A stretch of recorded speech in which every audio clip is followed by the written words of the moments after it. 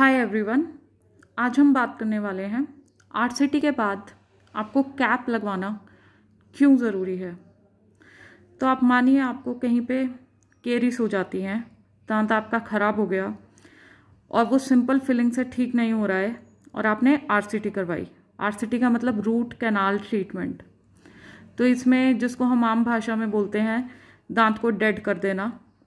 तो इसमें क्या रहता है कि जब आप आरसीटी करवाते हैं तो हम दांत के अंदर कुछ आर्टिफिशियल मटेरियल्स भरते हैं, जिसे हम, जैसे कि हम दांत के ऊपर की फिलिंग रहती है, वैसे ही हम आपकी जो नसें होती हैं दांत की लिविंग टिश्यू रहता है दांत का, उसको हम निकाल देते हैं और वहाँ पे हम अपना कुछ मटेरियल्स को वहाँ पे भरा जाता है।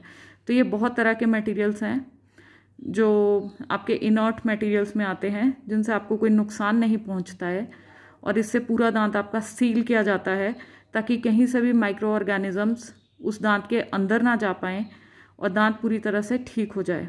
लेकिन इस प्रोसीजर में क्या रहता है कि दांत आपका थोड़ा ब्रिटल हो जाता है और दांत के टूटने के चांसेस ज़्यादा रह जाते हैं अगर हम उस पर कैप ना लगाएँ।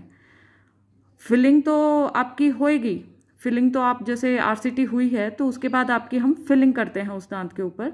लेकिन उस, वो फिलिंग का क्या रहता है कि वो फिलिंग पूरी तरह से आपके दांत को नहीं बचा पाएगी।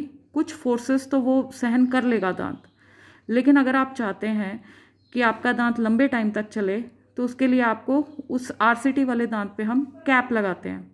तो अगर आप कैप लगा लेंगे तो वो जो आरसीटी वाला दांत है, वो आपका काफ़ी लंबे समय तक चलेगा। कई केसेस में तो हमने देखा है कि आरसीटी वाला दांत आपका 25-30 साल और कई बार इससे भी ज़्यादा टाइम निकाल देता है। तो इसलिए कैप ज़रूर लगवाएँ जब भी आरसीटी करवाएँ। Keep smiling